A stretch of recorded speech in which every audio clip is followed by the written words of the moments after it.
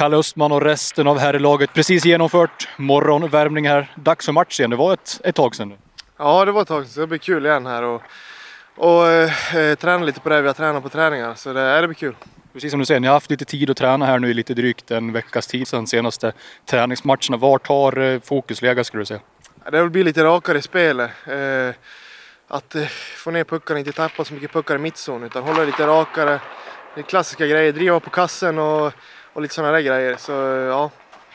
Du, Örebro står för motståndet innan vi kommer in på kvällens match. Du hade väl en ganska fin kväll mot Örebro i grundserien i, i fjol va? Ja precis, eh, då gjorde vi en bra vändning där så det var roligt. Så nej, vi får ta med den känslan till ikväll. Kan man ta med sig en sån känsla även fast det är en ny säsong och det är träningsmatch, sådana saker? Nej, det blir väl lite annorlunda såklart. Men eh, man vill göra det bra idag, sen eh, vill man göra ännu bättre till seriestarter. Så. Vilka svar vill ni ha här ikväll skulle du säga Kalle?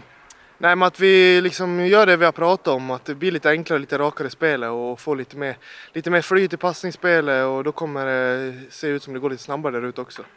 Du, till sist då, som Borlänge-pöjk och komma till Falun och spela match, vilka känslor medför det skulle du säga? Nej, vi får se hur det känns. Det är alltid speciellt att åka in i Falun, så nej, men jag hoppas det går bra. Det vore skönt att lämna med en vinst antar jag. Så är det, det brukar man göra när man är där. Så, ja.